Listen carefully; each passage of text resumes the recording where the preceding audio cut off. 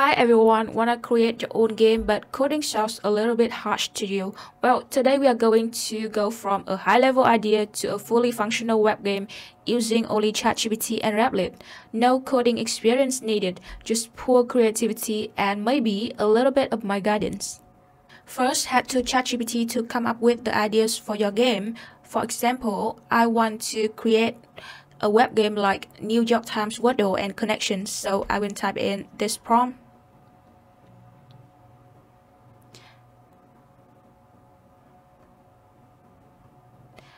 And after ChatGPT come up with the ideas, choose one. And here I will go for word scramble race and then ask ChatGPT to give you the game mechanics using this prompt.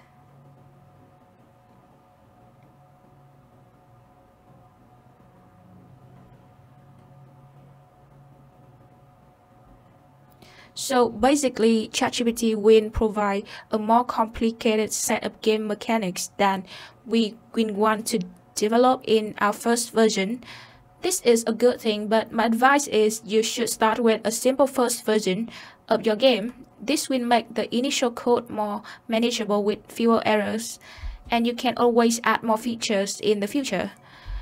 And now we will review all the game mechanics that ChatGPT has provided and explicitly instruct ones we don't need to be removed.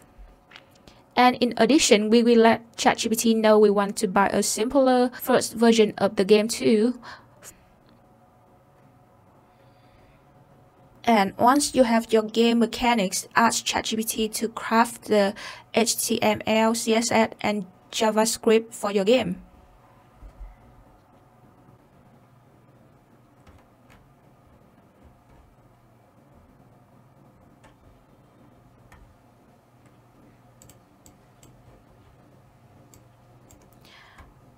Okay, so now head over to Replit, click start building and sign up with your account. It's totally free.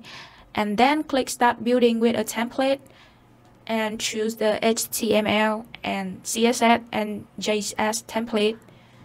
Change the name here and also add in some description. For example, I will type word scramble race and for the description, I will type a what game. And then hit use template button here. So now you can see on the left side panel here, we have some files to develop and test our game. These files names and types exactly match the code that ChatGPT has generated for us in the previous step. So now go back to ChatGPT and copy the code of each file and paste it into the corresponding files in Red Replit.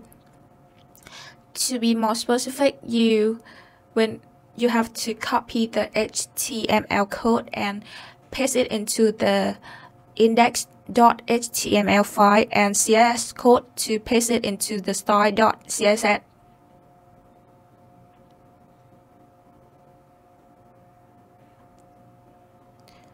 So when you've pasted in your codes, hit that run button and your game will appear on the right side panel ready to test.